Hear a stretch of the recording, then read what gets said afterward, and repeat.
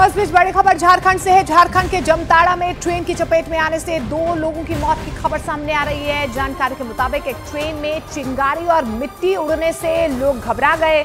उन्हें लगा कि ट्रेन में आग लग गई और उन्होंने चेन खींच दी। घबरा कर दो लोग ट्रेन से उतर गए और एक दूसरी ट्रेन की चपेट में आ गए, जिनमें एक शख्स की पहचान हो गई है। हालाँकि प्रशासन ने साफ़ कर दिया है कि ट्रेन में आग नहीं लगी थी। जाँच के लिए अब तीन सदस्यीय जेएजी समिति का गठन भी कर दिया गया है। तो आपको बता दें कि झारखंड के जमताड़ा में ये ट्रेन हादसा हुआ है। जानकारी मिल पा रही है कि हादसे में दो लोगों की मौत हो चुकी है। एक अफवाह फैली कि ट्रेन में आग लग गई, जिससे वहाँ पर अफरा तफरी का माहौल हो गया। लोग घबरा गए, ट्रेन से कूदने लगे और जब दो लोग ट्रेन से कूदे तो वो दूसरी ट्रेन की चपेट में आ गए। जिसकी वजह से उन दोनों की मौत हो गई। तो इनिशियली बताया गया था कि जो डाउन ट्रेन है, उसमें कुछ पार्क और चिंगारी मिली थी। तो ड्राइवर और गार्ड से बात किया गया, उन्होंने रेक चेक किया। फिर बताया कि नहीं, कोई ऐसा चिंगारी और आग नहीं है।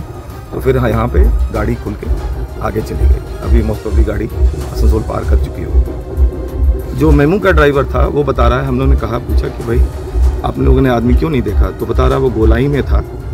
और विसल करते हुए आ रहा था, लेकिन वो देख नहीं पाया और उससे डैश हो गया। सुबह की वो अहम खबरें जो बदलती हैं दिन का रुख तय करती हैं देश की दशा और दिशा, और डालती हैं आपकी ज़िंदगी पर सीधा असर। रखिए हर खबर पर मेरे साथ नज़र। देखिए न्यूज़ 18 इंडिया मॉर्निंग प्राइम सिर्फ़ न्यूज़ 18 इंडिया पर। आप देखने की बौछार करते नज़र आए। इस दौरान भी वहाँ रुक रुक कर धमाके होते रहे। इसके साथ ही झुग्गियों में बनी टिन की छतें आग की वजह से टूटकर गिरती दिखाई दी और खतरे के बीच दमकल कर्मी बाकी झुग्गियों को बचाने के लिए जद्दोजहद करते दिखे। वहाँ आग बुझाने के दौरान दमकल कर्मियों को काफ़ी दिक्कतों का सामना करना पड़ा। क्योंकि धुएँ के गुबार ने उन्हें पूरे तरीके से घेर लिया। तकरीबन चार साढ़े चार बजे आग लगना प्रारंभ हुई। जहाँ पे कुछ कचरा वगैरह डम किया हुआ था वहाँ से आग प्रारंभ हुई। झुग्गियों में आग लगने की वजह से वहाँ रह रहे कई लोग इसकी चपेट में आ गए। कुछ लोग तो जान बचाने के लिए सड़क पर आ गए जबकि आग को काबू करते वक्त दो दमकल कर्मी भी जख्मी हो गए। वहाँ आग कैसे लगी इसका पता नहीं चल सका। इधर गुजरात के पोरबंदर में साढ़े तीन हज़ार किलो ड्रग्स पकड़े गए।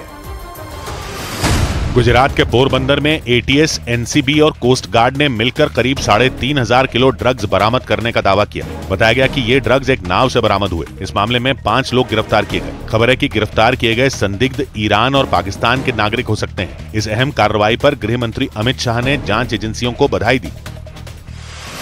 उत्तर प्रदेश के अवैध खनन मामले में सीबीआई ने अखिलेश यादव को समन्स भेजकर सुबह दिल्ली के दफ्तर में पेश होने का निर्देश दिया। जाँच एजेंसी ने उन्हें गवाह के तौर पर पूछताछ के लिए बुलाया। अवैध खनन का ये मामला 2012 से 2016 के बीच का है, जब अखिलेश यादव राज्य के सीएम थे।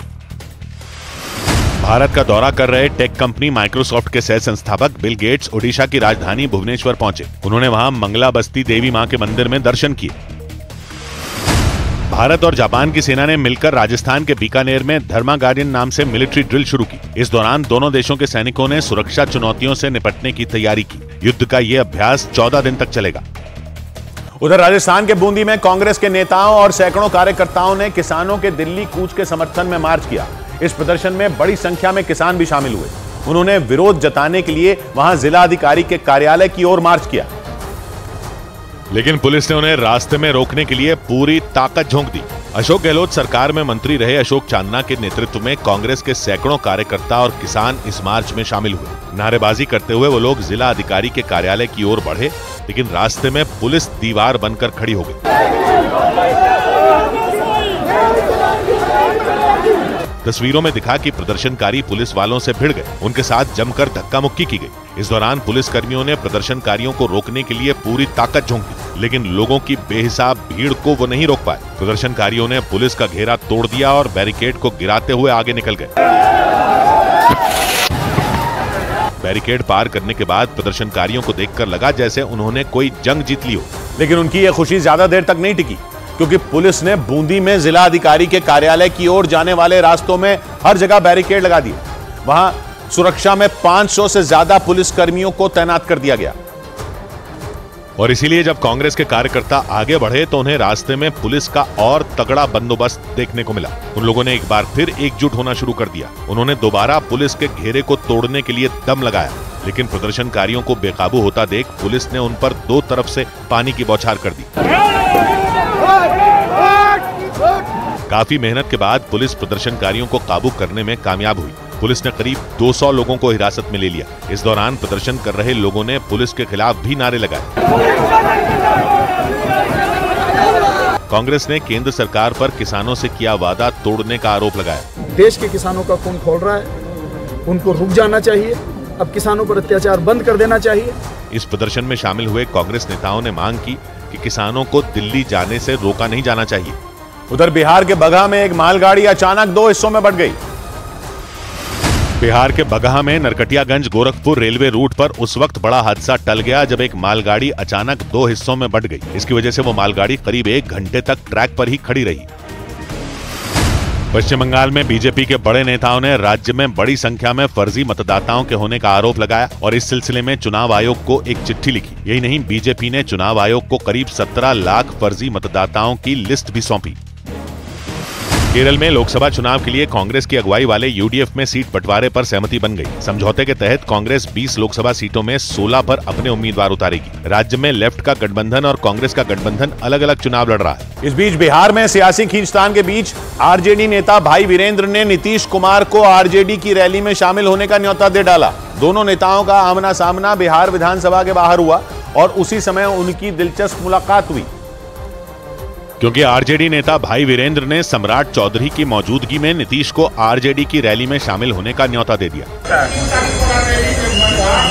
बिहार विधानसभा के बाहर हुई इस दिलचस्प मुलाकात ने सबका ध्यान खींचा, क्योंकि जब सम्राट चौधरी और नीतीश कुमार गाड़ी से उतरे तो भाई वीरेंद्र पहले से वहाँ मौजूद थे। सम्राट चौधरी ने उनसे हाथ भी मिलाया और इसी दौरान भाई वीरेंद्र ने नीतीश को आरजेडी की रैली का न्योता दिया, लेकिन नीतीश ने कोई जवाब